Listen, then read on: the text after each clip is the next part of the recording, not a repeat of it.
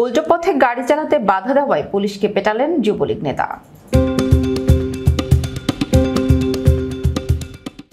বগুড়া জেলার শিবগঞ্জ উপজেলার মোকামতলায় মহাসড়কে উল্টো পথে গাড়ি নিয়ে যাওয়ার সময় বাধা দেওয়ায় মোহাম্মদ তৌহিদ নামে এক হাইওয়ে পুলিশ সদস্যকে পেটানোর অভিযোগ উঠেছে যুবলীগ নেতার বিরুদ্ধে।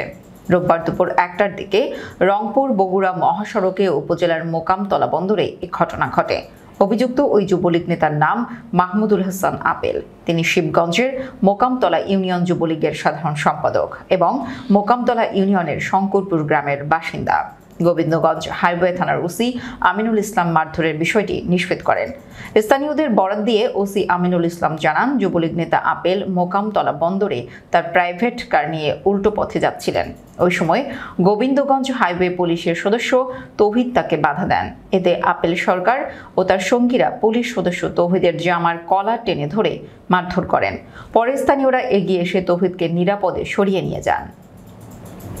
নাম প্রকাশ না করার শর্তে প্রত্যক্ষদর্শীরা জানান, যুবলীগ নেতা মাহমুদ হাসান আপেল দুপুর একটার দিকে সোনাতলার দিক থেকে হায়েস্ট মাইক্রোবাস নিয়ে মোকামতলা বন্দরে এসে মহাসড়কে ওঠার পর উল্টো দিকে রংপুরের দিকে যাচ্ছিলেন।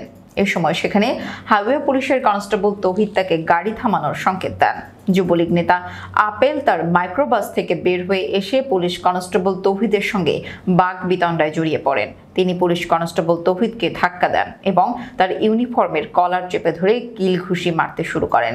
এ সময় স্থানীয় জনগণ সেখানে ছুটে গিয়ে কনস্টেবল তৌহিদকে নিরাপদ দূরত্বে সরিয়ে নেন। পরে অবস্থা বেগতিক দেখে যুবলীগ নেতা আপেল সটকে পড়েন। এরপর পুলিশ তার মাইক্রোবাসটি জব্দ করে স্থানীয় মোকামতলা পুলিশ তদন্ত কেন্দ্রে নিয়ে রাখে।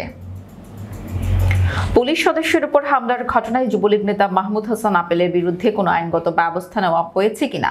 সাংবাদিকদের এমন প্রশ্নের জবাবে হাইওয়ে পুলিশের গোবিন্দগঞ্জ থানার ভারপ্রাপ্ত কর্মকর্তা আমিনুল ইসলাম জানান, এ ঘটনায় মামলা হবে, তবে এখনও কাউকে আটক করা হয়নি। তিনি আরও বলেন, এর আগে স্থানীয় এক সাংবাদিককে মারপিটের অভিযোগে মামলা রয়েছে আপেলের বিরুদ্ধে। এছাড়া ব্যাংকের চেক জালিয়াতির একটি মামলায় দু হাজার বাইশ সালের অক্টোবরে তাকে কারাগারে পাঠানো হয়। দর্শক, ভিডিওটি শেষ পর্যন্ত দেখার জন্য আপনাকে অসংখ্য ধন্যবাদ। নিত্য নতুন সংবাদ পেতে আমাদের ইউটিউব চ্যানেলটি সাবস্ক্রাইব করুন ও নিয়মিত নোটিফিকেশন পেতে বেল বাটনটি ক্লিক করুন এবং আমাদের ফেসবুক পেজটিতে লাইক করুন। এছাড়াও আমাদের ভিডিওতে লাইক দিয়ে শেয়ার করুন। আল্লাহ হাফেজ।